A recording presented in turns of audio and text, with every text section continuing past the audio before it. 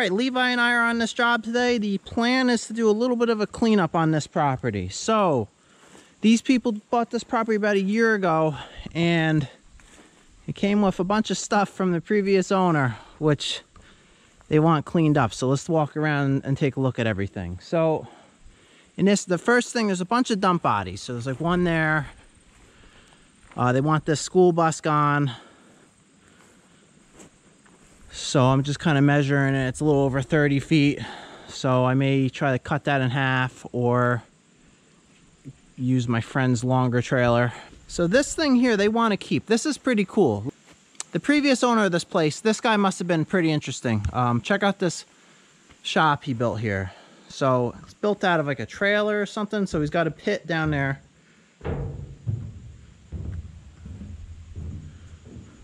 Which is which you're walking on like a suspended work platform. And then this whole thing is, is got this roof with these nice big gantries up here for lifting stuff up. Plus he had this box here for keeping his tools in and I'm sure he kept more stuff in that bus. So we're leaving this, we're leaving this box right here since it's kind of attached to this thing, but that bus looks ugly. They want to get rid of this other box right here Probably get rid of this old trailer right there. Couple dump bodies right there. Yeah, check out this thing. Look how cool this is. All right, so the other thing they want cleaned up is this thing right here. So the it's kind of like a carport where they use some beams and some metal sheathing and put a roof between this truck body, this mobile home, and another truck body. And although it does provide some dry storage, they said they don't like looking at it. So they want to put up a nicer garage in this spot. So we got to get this cleaned up as well. All right, the other cool thing that the previous owner of this property was doing was he was chiseling out all this bluestone by hand. Now this used to be a big industry in this area like 150 years ago and it kind of died out. But so what people used to do is they go in areas like this. And these stones, you could see they have like these natural seams in them. And if you chisel them just right, you can get them out in big square pieces. So that guy must have been doing that for a while. But check out all these cool pieces here. You know, these long ones like this, that could be a nice mantle. And here's a bunch of stuff here all ready to go. Nice big flat pieces cut into squares. I mean, that's a big piece too. Look, see?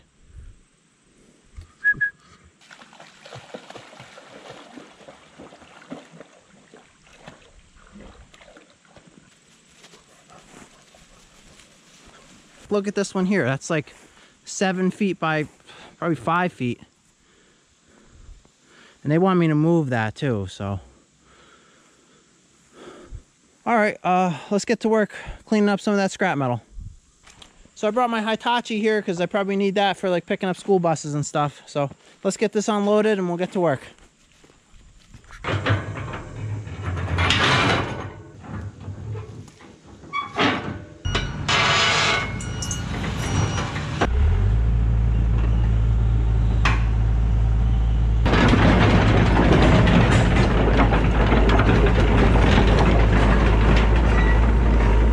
Let's not leave with an empty truck and trailer. So let's load up some of these dump bodies. So kind of looking at them, I don't know. There's no tailgate, no headboard. Maybe that one's junk.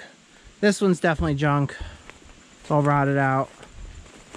One here is bigger. It's for like a six-wheeler size truck. But this one looks good. There's a tailgate. The floor is good. It's not rotted. You know, if that had a coat of paint on it and was installed on a truck. So I'm going to keep that one. I don't want to just have junk at my house though, so hopefully someone else wants it.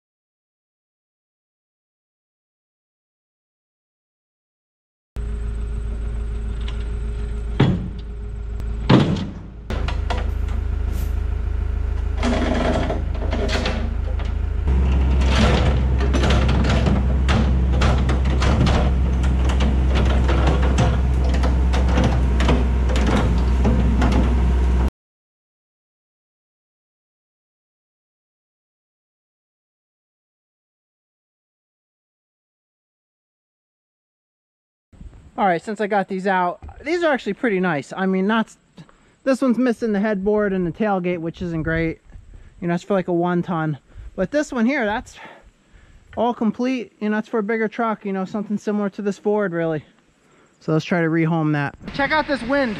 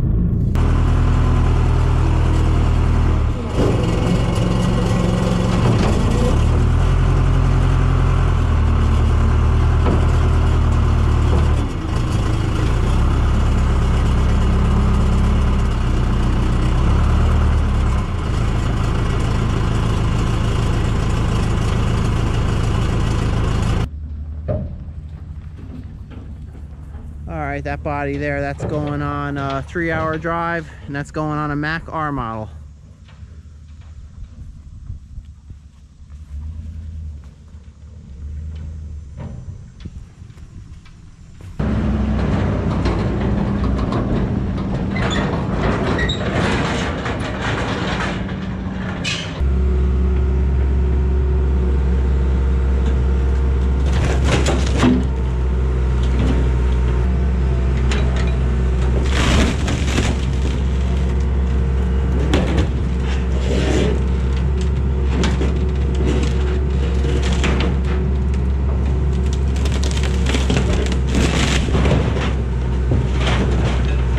You know what, I was gonna try to sell this as a trailer, but you know, seeing that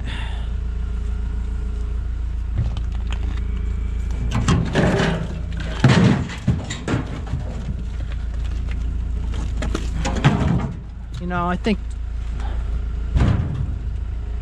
I think the only place that's gonna want this is the scrapyard. I mean, I put it online already and people are like trying to trade me, like they're offering me like 10 bucks and trying to trade me stuff. I'm like, dude, it's just, all right, I'm, I'm just scrapping that. Forget about it.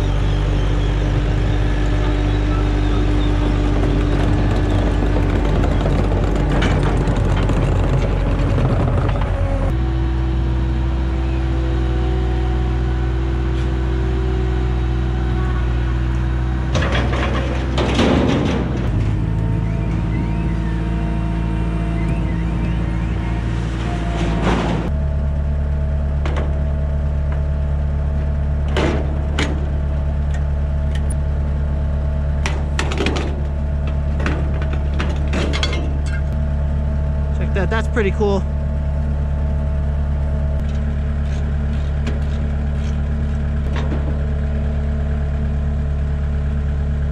F600, huh? That's cool.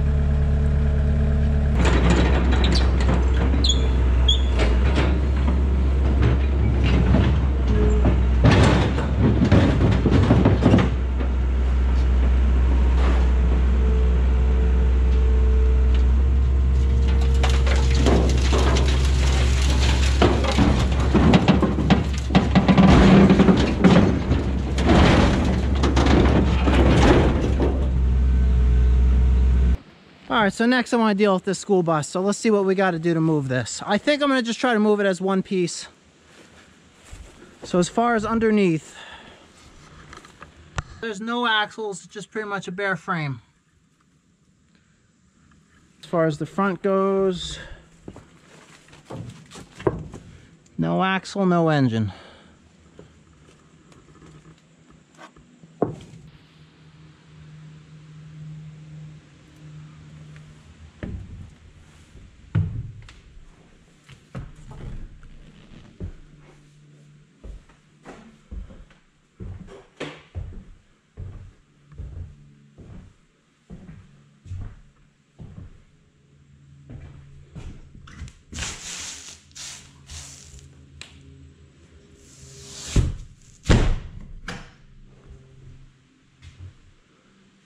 Pretty cool.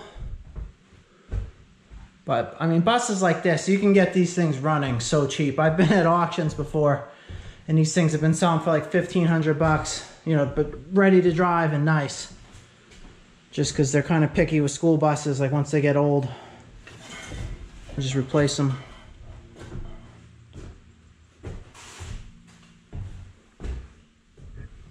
All right, well, let's uh, try to load this up. All right, here's our ride right here. That's supposed to be longer than my trailer. Looks about the same.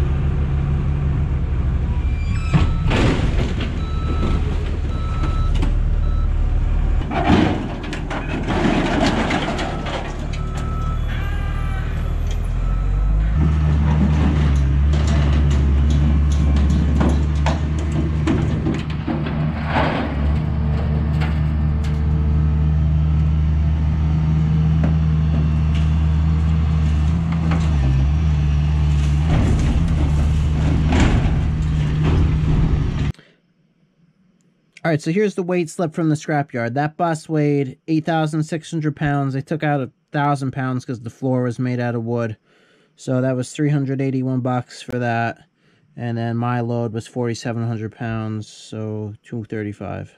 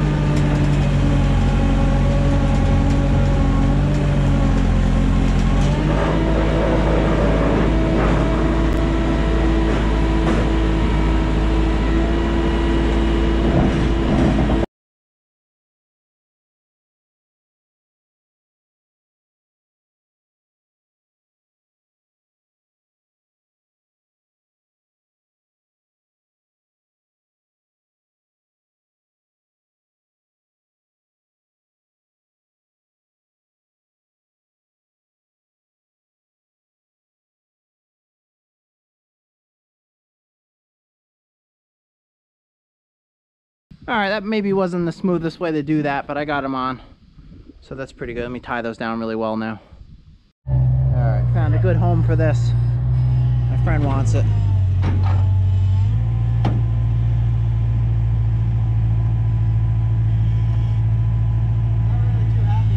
What are you trying to do?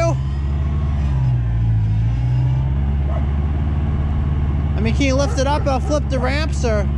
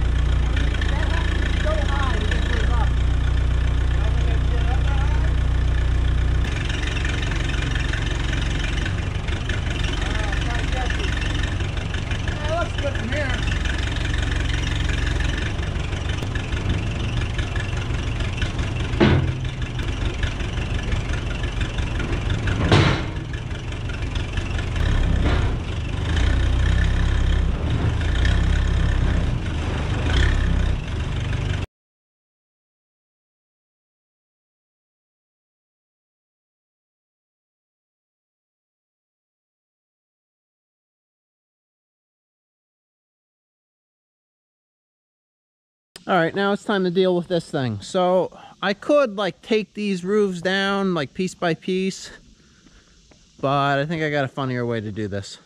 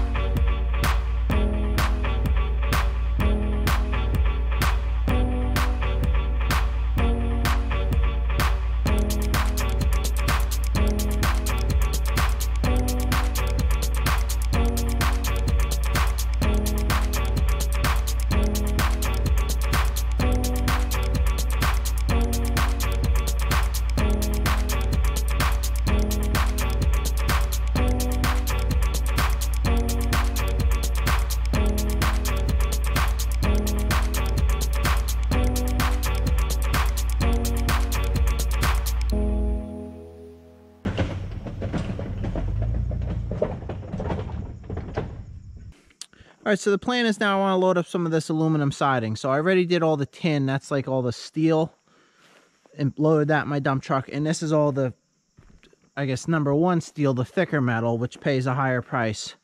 And then the aluminum, to actually get the aluminum price, it has to be clean aluminum. Like, so that's good. But it can't have like pieces of wood attached to it. That's all got to be off of it. So I'll just go through this kind of by hand and get this loaded up.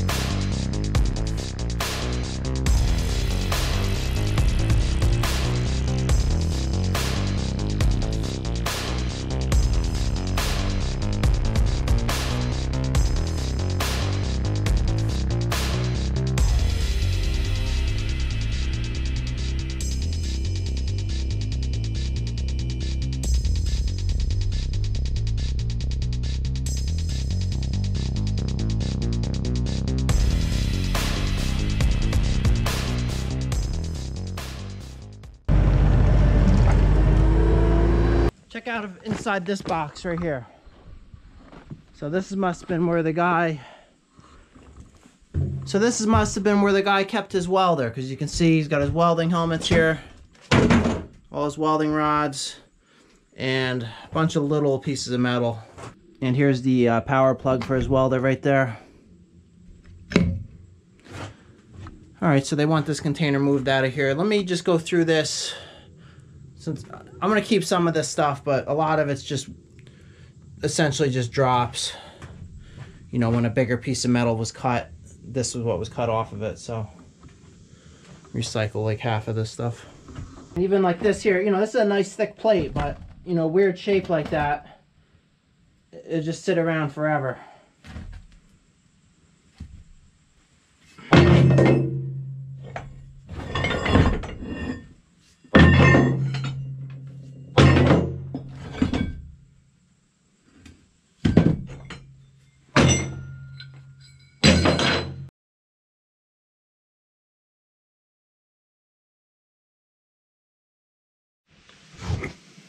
All right, I guess I'll uh, keep the rest in here. There's a few useful pieces. And and anyone who thinks I throw out anything good, if you go look at a dumpster of a steel yard, that's what it looks like.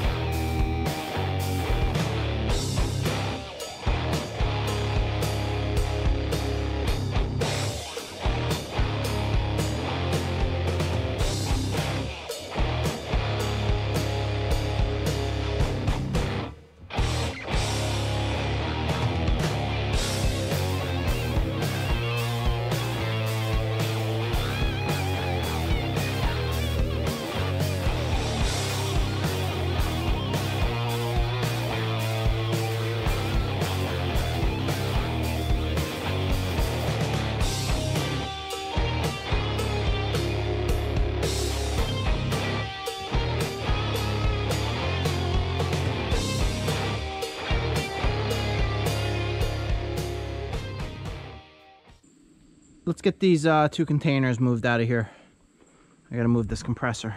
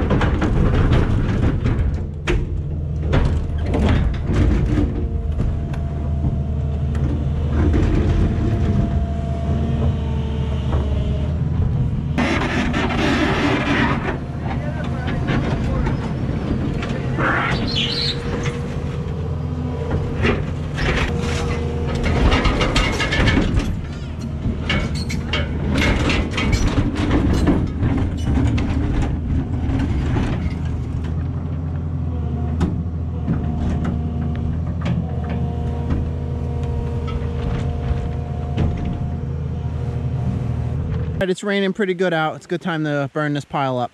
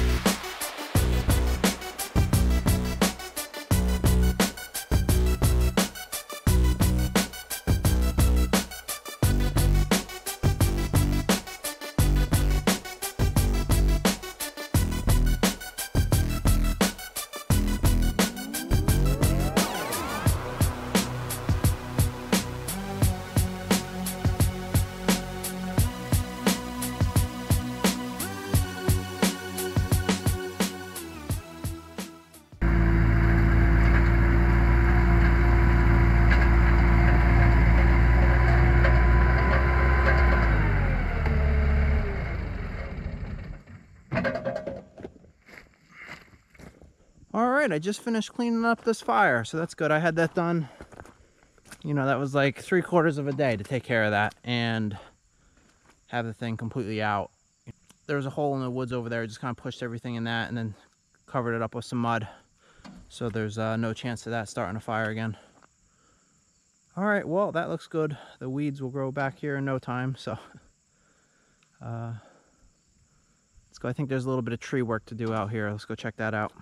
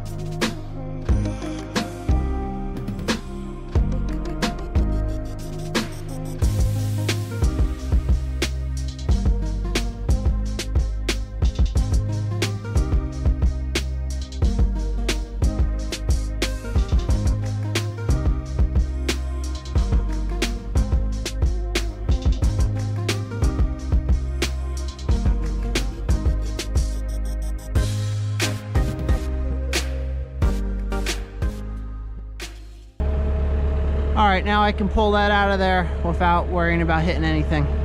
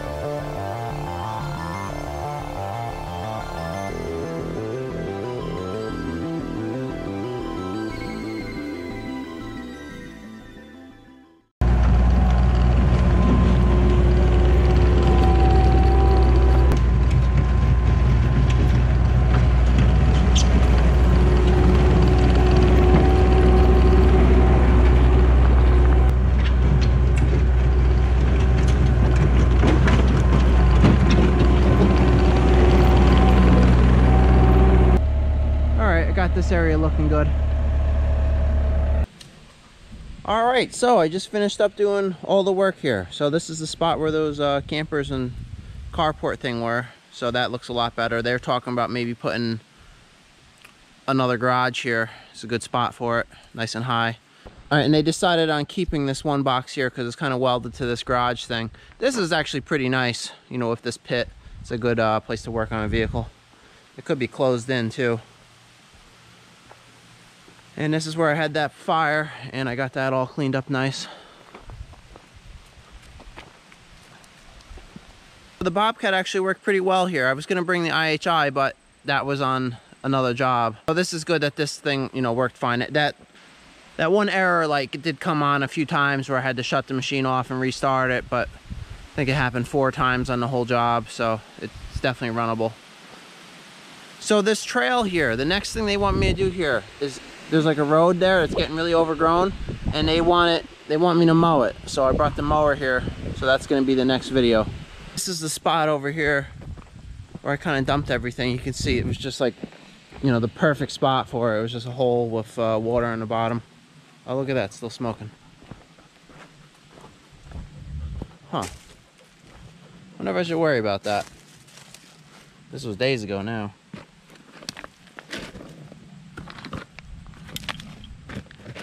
uh, this spot looks pretty good. All right, well, we're all done here. Well, except for the mowing, but let's uh, get started on that right now.